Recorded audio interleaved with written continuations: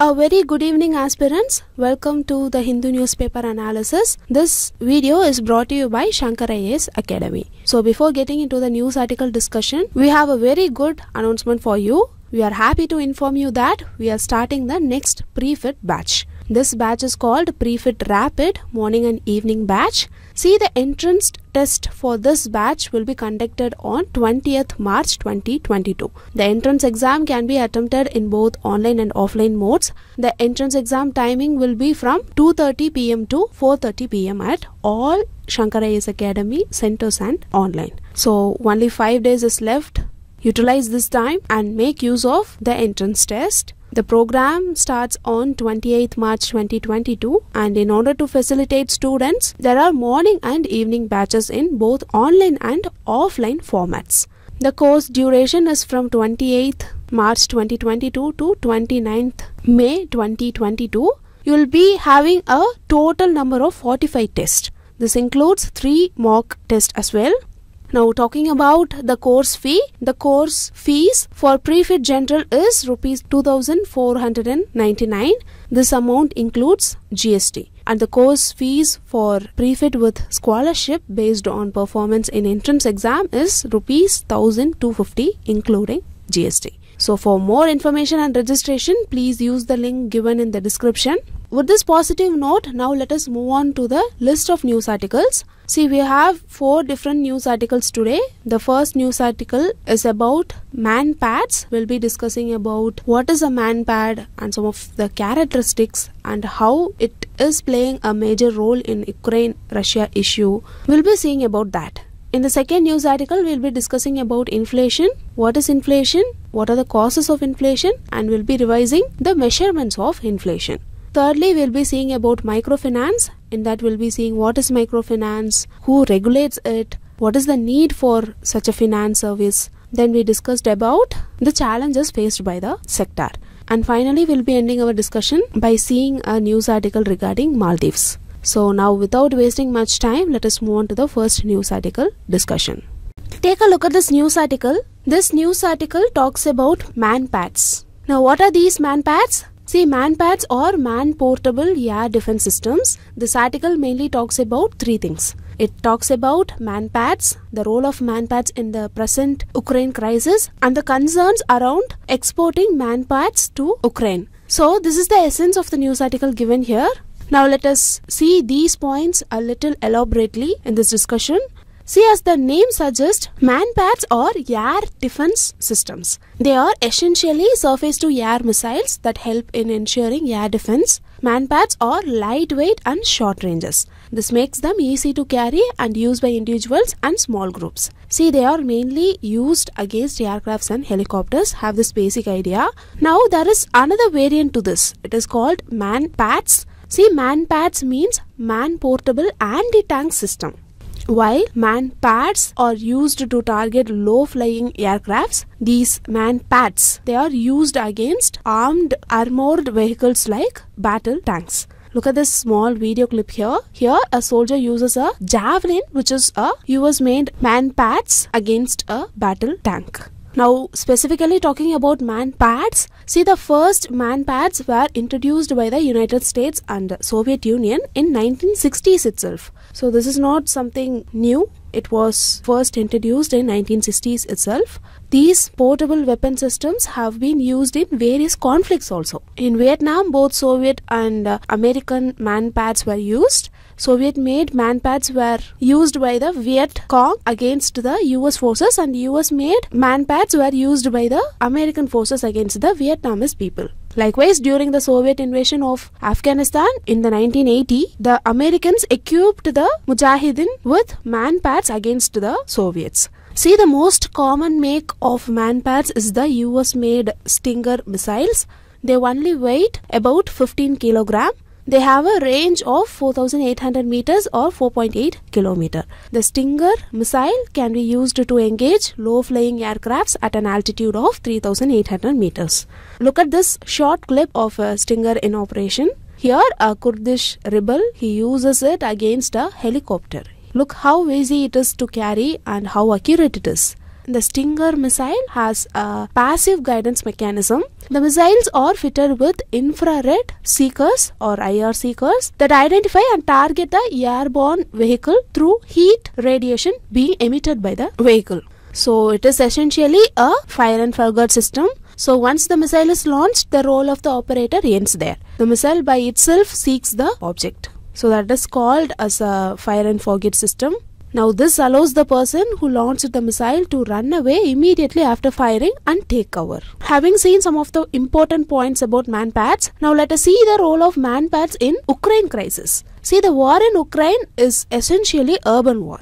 Urban war is nothing but combat which takes place in urban areas such as towns and cities. Urban combat is different from combat in open battle areas. It is different at both the operational and tactic levels. See, the urban warfare is complicated because of the presence of civilians and the urban terrain. That is why urban warfare is considered as one of the hardest type of warfare. We cannot send infantry directly into urban warfare. There will be a lot of buildings in urban area, right? So, in such cases, a single snipper can ambush one building and take out entire regiments. This is why almost every video emerging from Ukraine shows the Russians employing air force and tanks to provide cover to the ground troops. If you notice closely at this video, you can notice Russian jets flying very close to ground level. Why is that? This is because Ukraine still has some of the Soviet era long range air defense systems. These long range air defense systems can target only the aircrafts that are flying in higher altitude. This is why Russia is flying its aircrafts at such low altitude. But here is where the manpads come in we already know that manpads are lightweight and short range, right? So manpads can be effective against low flying aircrafts. This is why Western powers are equipping Ukraine with manpads. More than 17,000 anti-tank weapons and 20,000 Stinger missiles have already been sent by the US and NATO in the first week of March itself. Now, analytics have said that anti-tank and anti-aircraft missiles have been effective in countering Russian military advances in the air and on the ground. See, recently on March 13, United States President Joe Biden approved a $200 million arms package, right? Most of this will go towards US made Stinger missiles. So, this is regarding the role of manpads in the current Ukraine crisis. So far, we saw some of the characteristics of uh, manpads and then we saw regarding the role of manpads in the current Ukraine crisis. Now, let us see the complications that might arise from the Western powers exporting of manpads to Ukraine. See, according to the Global Organized Crime Index, Ukraine is believed to have one of the largest arm trafficking market in Europe. For a long time, Ukraine has been a key link in the global arm trade. But after the beginning of the conflict in eastern Ukraine, the role of Ukraine in the illegal arms trade has only intensified. See, Russia annexed Crimea in 2014, right? Since then, Western powers have been supplying arms to Ukraine. In most instances, these weapons have ended up in the wrong hands. Reports indicate that weapons in the state arsenal were illegally acquired and smuggled by criminals and non-state rebel groups.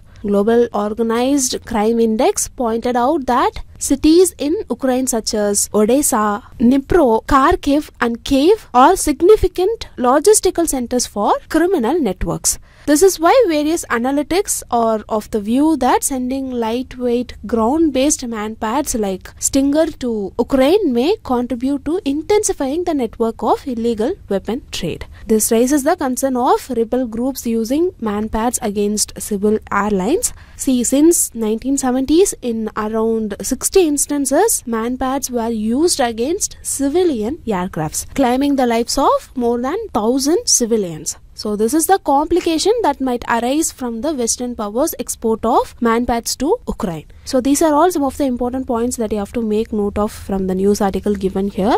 In this news article discussion, we saw about manpats. We saw another variant which is called manpads. Then specifically we saw about characteristics of manpads. We saw about its significance, and finally, we ended our discussion by discussing about the role of manpads in the current Ukraine crisis. With these learned points, now let us move on to the next news article discussion. Take a look at this news article. This news article is with reference to inflation. See, as per the news article, India's retail inflation touches an 8 month high of 6.07% in February. It also states that rural India experiencing a sharp price rise than urban area. See, rural India experienced a sharp price rise of 6.38%, but for urban consumers, the inflation rate fell from 5.91% in January to 5.75% in February. So, this is the crux of the news article given here, and taking this as an opportunity, let us revise about inflation and the measures of inflation in prelims perspective. First of all, what is this inflation? See, inflation is generally defined as a sustained rise in the general price level. Here, general price level means that it is only when the price of most goods are increasing, then inflation is said to be happening. So, here, increase in the price of just a couple of goods does not constitute inflation. Have this idea? Here, inflation implies that there is an increase in the cost of living itself. That is, it indicates that your money won't buy as much today as you could buy yesterday. So yesterday for the same cost you would have bought a lot of things. But today for the same cost if you could not buy a lot. So in that case we call it a inflation. Important point to be noted here is that it is not the high prices that constitute inflation, but it is the rising price that constitutes inflation. Here they are talking about the price level. If the price level is keep on increasing, it ultimately constitute inflation. Now, what are all the causes of inflation? See, many people mistakenly believe that price rise because businesses are greedy. This is not the case in free enterprise system. See, because of the existence of competition, the business that succeed are those that provide the highest quality goods for the lowest price. So a business cannot just arbitrarily rise its price anytime it wants to. If it does, all its customers will start buying from someone else, right? So the real cause of inflation are mainly three. They are demand pull inflation, cost push inflation, and structural inflation. We'll see about them in detail. Now, the first cause is the demand pull inflation. We'll see about them. Demand pull inflation exists when aggregate demand for a good or service outstrips aggregate supply. It starts with an increase in consumer demand Usually sellers they meet such increasing demand with more supply. But when the additional supply is unavailable, sellers raise their prices. This will result in demand pull inflation. So it is the most common cause of inflation. Now the second cause of inflation is the cost push inflation. See cost push inflation is when the cost of supply rise or the level of supply falls both of them lead to cost push inflation. That is either will make the prices rise in the final good or service if demand remains the same. Here by saying supply they actually mean the labor raw material or the capital shortfall. We know that these are among the four factors of production right? So when they fall cost push inflation might happen. The third cause is the structural change See, structural changes in the economy like government budget constraints, lack of infrastructure and shortage of uh, foreign exchange can also cause inflation. Other causes like cartelization and hoarding can also cause inflation. I hope now you understood what is inflation and what are all the causes of inflation. Now we'll discuss about how the inflation is measured in India. See, in India, consumer price index, that is CPI, and wholesale price index, that is the WPI, are two major indices for measuring inflation.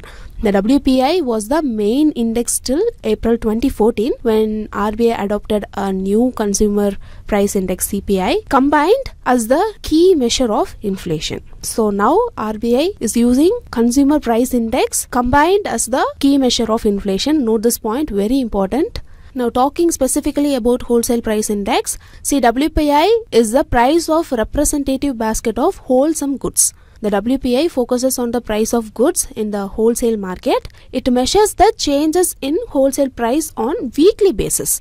It is computed by the Office of Economic Advisor in Ministry of Commerce and Industry. Very important point. And now talking about Consumer Price Index, it is a measure of change in retail price of goods and services consumed by defined population group in a given area with reference to a base year.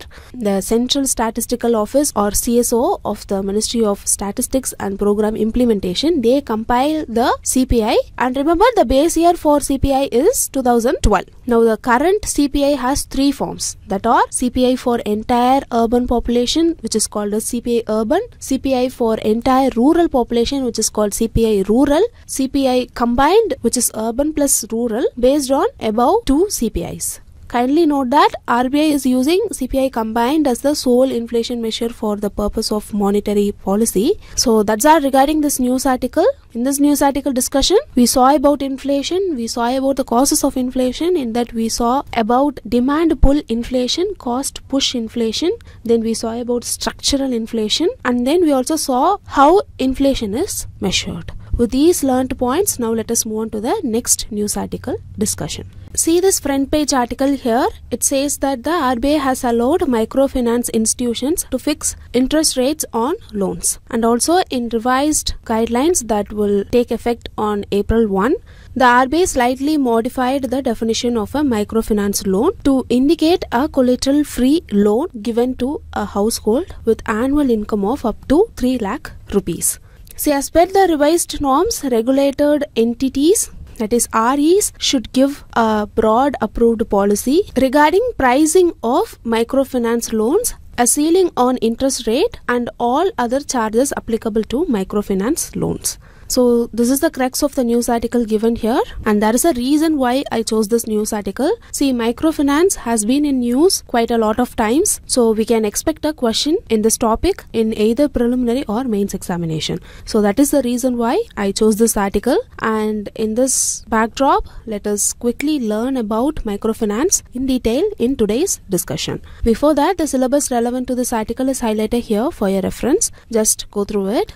First of all, what is this microfinance? See, microfinance is a form of financial service which provides small loan and other financial services to poor and low income households. The beneficiaries of microfinance are those who do not have access to these traditional financial resources. See, this is done to help them increase their income, thereby improving their standard of living.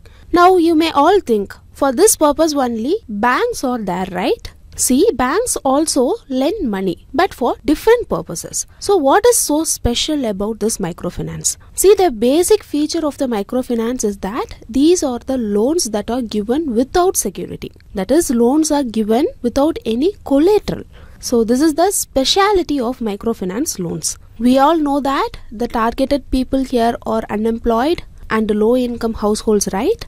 Imagine if they want a loan, they won't be able to give any security, right? So, to address this issue only, microfinance institutions provide loan without any security or collateral. So, unlike typical financing situations in which the lender is primarily concerned with the borrower having enough collateral to cover the loan, many microfinance organizations they focus on helping small entrepreneurs succeed. Now coming back, see Indian microfinance sector has witnessed phenomenal growth over past two decades in terms of increase in both the number of institutions providing microfinance and also the quantum of credit made available to the microfinance customers. Financial services are delivered through a variety of institutional channels like scheduled commercial banks which we call it as SCBs including small finance banks, SFBs, then regional rural banks, RRBs, who lend both directly as well as through business correspondence and self help groups, SHGs. Then comes the cooperative banks, non-banking financial companies which we call it as NBFCs then microfinance institutions MFIs registered as NBFCs as well as in other forms. And also know that MFIs or the microfinance institutions are regulated by RBI note this point very very important MFI is regulated by RBI. But note that not all MFIs are regulated by RBI. Some of the MFIs that qualify certain criteria and are non-deposit taking entities come under RBI wings for NBFC regulation and supervision. See, they have to get NBFC license with RBI and fulfill the conditions as laid down for them. NBFC MFI is a non deposit taking NBFC that meets the conditions which I am going to mention. Firstly, the minimum net owned funds should be of rupees 5 crore for those registered in the northeastern region of India. Rupees 2 crore is required as minimum net owned fund. And at least 85% of its total net assets should be in the nature of qualifying assets so here the only difference between an nbfc mfi and nbfcs is that other nbfcs can operate at a very high level but MFIs cater to only the smaller level of social strata with the need of small amount as loans. So with this basic understanding, now let us see why such a service is needed. See, according to 2011 census, in percentage terms, the rural population formed 68.84 percentage of the total population, with the urban population constituting 31.60 percentage. So, according to the census, 68.84 percentage of population formed rural population, and the remaining 31.16 percentage formed the urban population. And just for your information, know that Himachal Pradesh has the highest proportion of rural population with 89 9.96 percentage, while Delhi has the highest proportion of urban population with 97.50 percentage. See, we know that the rural areas are with lack of facilities and knowledge and have minimum amount of money to meet their basic needs, right? It acts as an anti-poverty vaccine in rural India and we know that India has more than 60% of its population working in agriculture sector. Consequently, this leads to unemployment and that further leads to low income per capita. See, because of this low income, it is not sufficient for the people to meet with their basic needs. Apart from this, the people of rural areas have very low access to the industrialized credit. So, microfinancing works as a boon for the people living in the rural areas, which help them to have stability with respect to their financial issues. So, overall, the role played by microfinance is crucial in the lives of small businessmen in urban areas and entrepreneurs in underdeveloped parts of India, along with the people living in rural areas. Now we know why we need such a financial service. And with this information, let us move on to see the different services offered by microfinance institutions, MFI. See, the first one is micro loans. Microfinance loans are significant because they are provided to borrowers with no collateral the end result of micro loans should be to have its borrowers outgrow smaller loans and be ready for traditional bank loans. The second one is micro savings. See, micro savings accounts allow entrepreneurs to have savings account with no minimum balance. These accounts help users develop financial discipline and an interest in saving for future. And the final one is micro insurance. See, micro insurance is a type of coverage provided to borrower of micro loans these insurance plans have lower premium than traditional insurance policies. The importance of microfinance is that it is the machinery to protect the poor people from all the disasters that might take place in future. For example, like uh, accidents, chronic diseases and etc. It addresses all kind of risks that people of low income group or poor people face. For your information, go through this microfinance company in India. It includes Arohan Financial Bank, BSS Microfinance Private Limited. Like that, I have mentioned here some of the important microfinance companies in India. Just go through it. Now, having seen the need and service and the companies, now let us see about the challenges faced by this sector. See, the first challenge is over indebtedness. See, the microfinance sector, as I already said, they deal with marginalized section of Indian society who intend to improve their standard of living and so obviously over indebtedness will be there. This poses a severe challenge towards growth.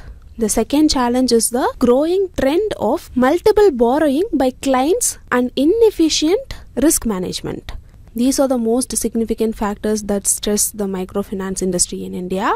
The third challenge is the risk of bad loans. See, the microfinance sector gives loan without collateral, which increases the risk of bad debts. The fourth concern is the highest rates, that is the interest rates for the loans microfinancing institutions charge a very high rate of interest that is 12 to 30 percentage when compared to commercial banks which charges only 18 to 12 percentage. But the regulatory authority RBI issued guidelines to remove the upper limit of 26 percentage interest on MFI loans. This is somewhat related to the article we have taken today. We saw that RBI has allowed microfinance institutions to fix interest rates on loans it has also said that the rates should not be exorbitant, right? Now, the next challenge is the lack of enough awareness of financial services in the economy. See, as a developing country, India has a low literacy rate, which is still more moderate in its rural areas. A large percentage of the Indian population fails to understand the basic financial concepts there is a severe lack of awareness of financial services provided by the microfinance industry among the masses. So, this also poses a challenge. The final challenge is the choice of appropriate model. See, most Indian MFIs allow the small help group model or the joint liability group model of lending. They hardly select the model based on scientific reasoning. So, this is a issue here. As you know, microfinance in India plays a major role in the development of India. It is an economic tool designed to promote financial inclusion, which enables the poor and the low income households to come out of the poverty. It also helps in increasing their income levels and improve overall living standard. The utmost significance of microfinance in India is that it dispenses the access to the capital to small entrepreneurs. See, the concept of microfinance focuses on women also by granting them loans. It acts as a tool for the empowerment of poor women. As the women are being independent, they are able to contribute directly to the well being of their families and are able to confront all the gender inequalities. The major targets of microfinance are the poor rural and urban households and women too. Therefore, it can facilitate achievement of national policies that target poverty reduction, women empowerment, assistance to vulnerable groups and improvement in the standards of living. So here the sector must be regulated properly with checks and balances. And with this, we came to the end of this news article discussion. With these learned points, now let us move on to the next news article discussion. See this article here, it talks about Maldives. See, Maldives on Sunday lifted its health emergency declared at the beginning of the pandemic two years ago. It also relaxed the mandatory mask policy. You may wonder why. See, this is because of the wide vaccine coverage and a low COVID positivity rate. This is the essence of the article given here. In this context, let us learn about the location of Maldives and the important points related to it. First of all, let us understand the location. Where is it? Yeah, it is in the Indian Ocean. Now look at this map here. Maldives, officially the Republic of Maldives is an archipelago country in the Indian subcontinent of Asia situated in the Indian Ocean. See, it lies southwest of Sri Lanka and India. Now here you can see that the equator passes through the Maldives. Equator actually passes through 13 countries. One of them is Maldives. The Maldives consist of 1190 coral islands grouped in a double chain of 27 islets situated in the Indian Ocean. See Maldives has a warm and humid tropical climate all year round and is influenced by two dominating monsoons. The dry season, that is northeast monsoon, runs from December to April, while the rainy season, that is southeast monsoon, runs from late May to November. See, the economy of the scenic Indian Ocean archipelago is heavily reliant on tourism sector. Before the pandemic, revenue from the sector accounted for about 70% of country's GDP. See, India is currently the third largest source market for Maldivian tourism, following Russia and the United Kingdom, according to data published by the Ministry of Tourism. Now, with this basic understanding, let us see about the importance of Maldives for India. See, Maldives and uh, India share ethnic, linguistic, cultural, religious, and commercial links steeping in antiquity and enjoy close, cordial, and multidimensional relations. India was among the first to recognize Maldives after its independence in 1965 and to establish diplomatic relations with the country. Apart from this, Maldives is an important member of SAARC. This itself make it significant for India more than this, the Maldives is geographically positioned in a toll gate between the Western Indian Ocean, choke points of the Gulf of Aden and Strait of Hormuz on the one hand, and Eastern Indian Ocean choke point of the Strait of Malacca on the other. The growing Chinese influence in the in the Maldives, that is the Beijing-led investment projects, is a major concern for India. See, as the preemptive South Asian power and a net security provider in the Indian Ocean region, India needs to cooperate with Maldives in security and defense sector. And there are 25,000 Indian nationals living in Maldives. So, Maldives, as one of the most strategically located island in the Indian Ocean, holds immense importance to India. The potential for both countries to work together on adaptive and mitigating measures against the adverse maritime impacts of climate change is enormous. This potential must be realized through imaginative foreign policy and maritime security initiatives. Well, the recent India First policy of the Maldives and India's Neighborhood First policy are intuitively complementary the challenges lies in implementing these policies with cultural, geo-economic and geostrategic sensitivity. However, with India's firm support to the archipelago having recently been demonstrated by PM Modi's first official visit of his second term to Maldives in June of 2019 and with a new Maldivian government under President Solih in power in Malé, the bilateral relationship seems firmly back on track. So, these are all some of the important points that you have to make note of from this news article. With this, we came to the end of the news article discussion. Now, let us move on to the next part of the news article discussion, which is nothing but the preliminary practice questions. Now, look at this first question. This question is a pair based question. Here one side manpads are given and on the other side countries of origin are given. First pair is Igla from Russia. Second pair is Starstreak from United Kingdom. Third pair Feinu 6 from Sweden. And fourth pair is RBS 70 from France. Which of the pairs given above is or are incorrectly matched. So you have to find the incorrectly matched pair Option A 1 and 2 only, option B 2 and 3 only, option C 3 and 4 only and option D 1 and 4 only. See the correct option for the question is option C 3 and 4 only. First pair is correct because Igla which is also called as SA24 Grinch is a Russian origin manpads. Second pair is also correct because Starstreak is a United Kingdom origin manpads. Third pair is wrong because Feinu 6 or FN6 is manpads was developed by China. Fourth pair is also wrong because RBA-70 is designed and manufactured by the Swedish defense firm of Bofors Defense. Actually, it is the Mistral series of manpads that has its origin in France. Other examples of manpads includes Chiron of uh, South Korea, Anza of uh, Pakistan and MPDMS of India. So the correct option for the question here is option C 3 and 4 only. Now moving on to the second question. This question is about inflation. Demand pull inflation is caused by option A a strong brand, option B natural disasters, option C an outward shift in aggregate supply and option D an increase in cost. See here the answer is option A a strong brand. See, natural disaster, cost rise, and shift in aggregate supply are all causes of cost push inflation growing economy, strong brand, and technological innovation are all causes of demand pull inflation. So, here our answer is option A, a strong brand. For example, take Apple brand. Prices for these goods are higher than comparable products, right? But still, demand for the product are high. This allows Apple to charge higher prices. So, the correct answer here is option A, a strong brand. So, moving on, the mains question is displayed here. Please go through the question, write an answer and post it in the comment section. write one answer every day and you will be ahead of everyone each day. So with this we came to the end of the news article discussion. If you like the video, hit like, comment and do share and don't forget to subscribe Shankar IAS Academy YouTube channel. Thank you.